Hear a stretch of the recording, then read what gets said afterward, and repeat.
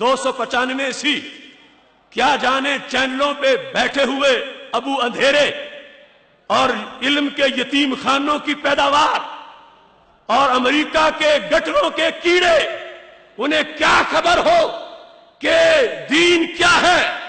وہ شکست خوردہ شاہی جو پلا ہو کرکسوں میں، اسے کیا خبر کے کیا ہے؟ وہ رسم شاہبازی! گاندھی جیسے مچھروں کو پتا کیا ہے کہ بلبلوں کے انداز کیا ہوتے ہیں۔ یہاں سے لے کر ایوان اقبال کے دروازے سے لے کر وائٹ ہاؤس تک۔ دو سو پچانوے سی کے ساتھ مختلف لوگوں کو اختلاف ہے۔ اور میں یہ کوشش کروں گا کہ ہر اختلاف والے کا جواب دوں۔ لیکن اگر کسی کا پھر بھی رہ جائے اور کسی کو گمنڈ ہو، تو میں نے مناظرے کے لیے سب کے سامنے پیش کر دیا ہے۔ اور جہاں کوئی بلائے گا چینل پہ بلائے گا، سپریم کورٹ میں بلائے گا۔ ہاں بات لائیو ہوگی، آمنے سامنے ہوگی۔ تو میں سر کے بل چل کے جاؤں گا کہ گستاخ کی سزا صرف موت ہے، انشاءاللہ۔ امریکہ کے غلام حکمرانوں سن لو، ویسٹ کے لٹیروں سن لو، سیکولر قوتوں کے ایجنٹوں سن لو کہ یہ دو سو پچانوے سی ایسا قانون نہیں۔ کہ جس کے کا کوئی والی وارث نہ ہو اپنے جگر کی کلیجے کی بوٹیاں لٹکا کے بھی اس قانون پہ بہرا دیتے نظر آئیں گے انشاءاللہ۔ ہم خاک نشینوں کی ٹھوکر میں زمانہ ہے۔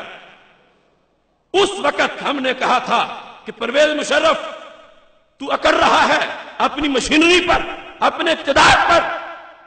ایک دن وہ آئے گا تو منہ چھپا رہا ہوگا اور دو سو پچانوے سی والے پھر بھی ممبروں پہ خطبے دے رہے ہوں گے۔ وہ جس مودی کے ساتھ انہوں نے ہنی مون منایا تھا رائے ونڈ میں، وہ انہیں دوستی کے روزانہ تحائف بھیج رہا ہے۔ اور یہ مکار اور غدار گونگے بن کے بیٹھے ہوئے ہیں۔ کیا تماشا ہے کہ جس کے ہاتھ میں میزان ہے، وہ منافع گن رہا ہے، تولتا کچھ بھی نہیں۔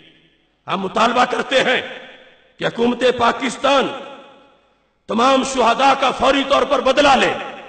جتنے فوجی جوان شہید ہوئے، جتنے سیولین یعنی شہری شہید ہوئے، ان کا بدلہ لیا جائے۔ اور صرف بدلہ ہی نہیں، بلکہ انڈیا کو وہ سبق سکھایا جائے کہ آئندہ وہ کنٹرول لائن پر کس قسم کی جارحیت کے قابل نہ رہے۔